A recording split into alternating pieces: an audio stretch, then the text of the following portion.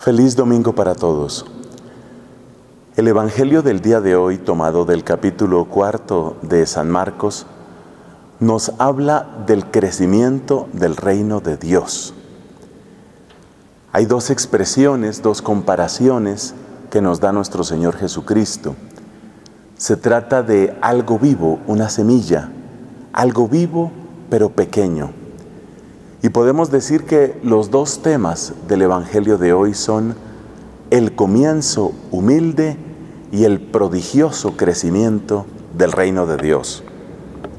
Queriendo exponer este pasaje del Evangelio, conviene entonces dar alguna razón de por qué el comienzo es humilde y por qué el crecimiento es prodigioso. Dios llega con humilde paso a nuestra vida porque nuestra soberbia es lo que nos tiene bloqueados.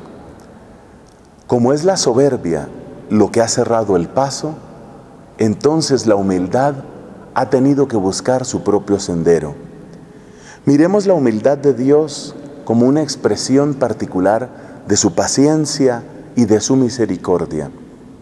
Y por eso, Normalmente Dios llega a nosotros a través de aquello que es más humilde, más frágil o más herido en nuestra vida. Una persona puede ser muy inteligente y muy exitosa, pero la enfermedad de un hijo le hace sentir débil e impotente. Y a través de esa enfermedad, a través de las oraciones que hace por esa enfermedad, quizás llega a un encuentro genuino con Dios. Una persona puede tener muchísimo dinero, pero se siente vacío y a través de esa puerta, la puerta de su necesidad, la puerta de su vacío, quizás esta persona un día se abre al amor de Dios. Entonces los comienzos del reino de Dios son así, son llenos de humildad porque nuestra soberbia, aunque ha bloqueado muchas cosas, todavía tiene grietas y Dios en su ternura ha querido acercarse, ha querido llegar por esas grietas a nuestro corazón. Eso puede dar razón del humilde comienzo del reino de Dios. Pero hay que explicar también el prodigioso crecimiento. Y lo que hay que decir es que lo mismo que nos cuenta el primer libro de los reyes, cuando nos habla del profeta Elías, también cabe aplicarlo aquí.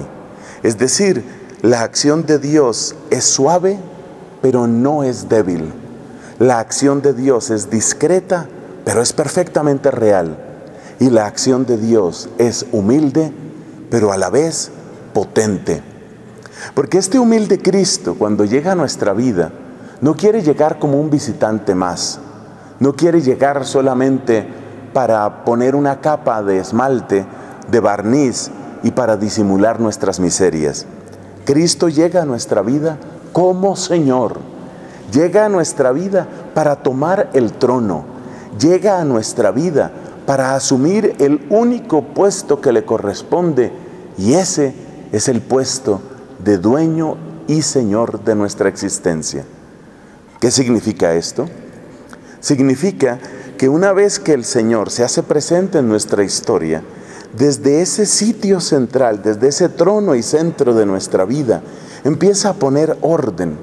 Y cuando nuestros pensamientos se llenan de luz y cuando nuestra voluntad se llena de su amor, entonces sí que las cosas caminan prontamente.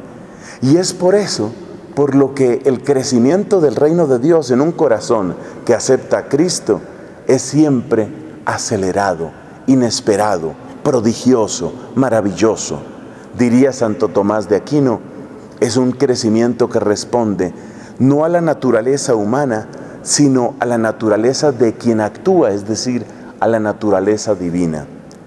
Contemos entonces con este humilde comienzo, pero contemos también con ese prodigioso crecimiento.